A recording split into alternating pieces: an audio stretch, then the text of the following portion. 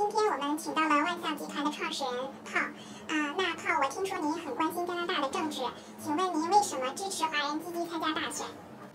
呃，参与选举是这个那个一宪法规定的一项很重要的这个权利和义务。呃，就是说，我们只有积极参与选举的话，我们华人群体的这个声音才能被整个社会听到，然后呢，我们也更能获得尊重。参与选举，您建议以什么原则来参与选举？呃，这个问题问得非常好啊！我在那个帮那个西温选区的呃候选人 John Weston 在竞选国会议员的过程中呢，经常被人问到这个问题，就是我选他能给我带来什么好处？呃，其实呢是这样的，参与选举通常不能给你直接带来直接的这个物质利益。呃，我们选我们投票呢，主要是看是不是认可这个候选人的或者他所代表的政党的。这个理念、价值观。那么，您为什么支持保守党？呃，就是因为我认可保守党的这个理念跟价值观。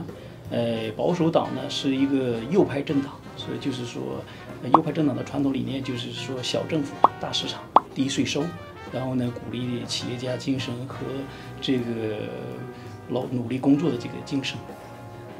然后相反的，自由党政府呢，就往往是这个，它是大政府、小市场，然后政府参与社会的各个方面，高税收、高支出。那您呢，从事房地产行业多年，那很多华人关心啊，政党对房地产市场的影响是什么？呃，现在这个话题也比较热门。最近呢，两大政党在这个选举开始以后，都提出了，就是说可能会在未来两年以内禁止外国人买房。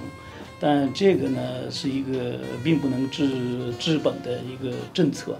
其实房地产市场的这个最近价格涨得比较厉害，主要是两个方面引起的。第一个来讲呢，是这个当前执政的这个自由党，它的这个高支出啊，导致这个通货膨胀，就是印钱太多引起通货膨胀。第二个问题呢，其实来讲，主要的问题是供应不足。加拿大各级政府的这个效率比较低下，房地产开发的周期很长，导致供应不足。这在保守党的竞选纲领里头，他就认识到了这个问题。就是供应不足是房地产的一个很重要的问题，所以我觉得保守党对这个问题的认识是比自由党更深刻。那么保守党执政的话，跟中国政府的关系会有什么变化呢？保守党一般来讲，它跟中国政府的关系会比自由党执政的话会要差一些，因为保守党呢比较认可、比较的坚持这个传统的加拿大价值观，就是自由、平等、民主、尊重人权。呃，那但是我觉得是这样的，我们作为一个来到选，既然选择来到加拿大，那么我是我们也是选择认可他这种价值观，所以我们更多的要从加拿大人的角度考虑问题。另外一个就是说，即使你不是很认可这种价值观，也不要把这个问题看得太重要。嗯，那今天谢谢啊，靠跟我们分享您对选举的一些想法，然后鼓励华人积极参加选举，享有他们该有的权利。好，谢谢。